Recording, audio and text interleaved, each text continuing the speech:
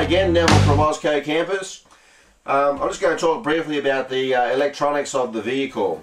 Um, most uh, buses and uh, trucks or light vehicles like this are 24 volt.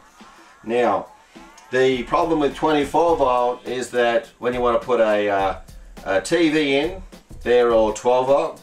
Um, uh, different things like the water pumps, you can get them in 24 and the fridges you can get 12, 24 but invariably uh, lights and things like that there's a lot more to choose from. It's a lot cheaper if they're 12 volt. So if you can convert your 24 to 12 right at the source um, ultimately that's going to be a better thing to do. Now uh, one way of doing that is to put in uh, an addition to your 24 volt alternator a 12 volt alternator and that just runs straight to your secondary or your house batteries, right?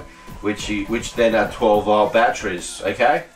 Um, what I'm doing in this, which is uh, which is now considered the way to go, as, a, as an easy, uh, anyone can do it, is to put in what's called a, um, a 24 to 12 volt battery charger, okay? So they're about um, anywhere from $350 um, up to $560. Uh, what they'll do is you can you wire straight into your uh, 24 volt um, outputs. They're, they're, very simple to do, and then you you um, you connect it then to your 12 volt battery. Uh, or both 12 volt batteries if you've got one or two uh, additional house or secondary batteries. They're the batteries that you operate everything off, okay?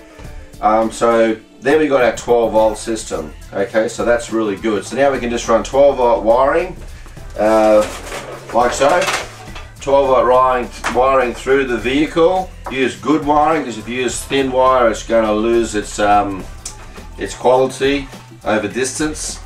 Um, and um, up in the roof here we've got um, straight just from Bunnings we've got some nice stainless steel lights.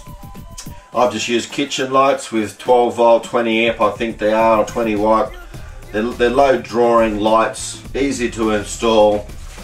Power, earth, negative, positive to your lights. A couple of switches in between. So battery, switch, lights.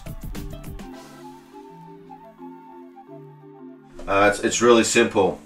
Um, so that's the 12 volt for our lights and that'll also run, I've got a 12 volt water pump.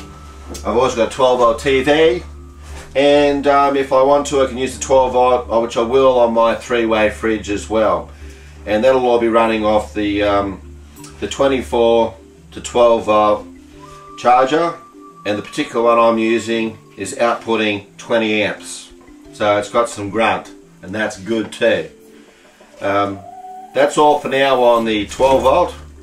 There's nothing more to say about the 12 volt except in your dashboard um, it's probably easier to run a separate um, 24 to 12 um, I don't know if they call it an inverter or converter. One's up and one's down but you get the drift. Uh, basically I'm laughing because uh, one of my chickens has just come and jumped in the bus. He's in the driver's seat so hang on we're gonna go for a ride. Chickens in control. Uh, in the dashboard yeah 12 a 24 to 12 converter there for your um, if you want to put in a CD player or if you want to put in a CB or UHF uh, and, and a GPS, reverse camera, that's we'll kind of look after that. That's pretty straightforward and easy, and they're not very expensive. Just a basic um, converter. It's going to be easy. They're not as dear as the 24 to 12 charges because they're not charging. They're just converting.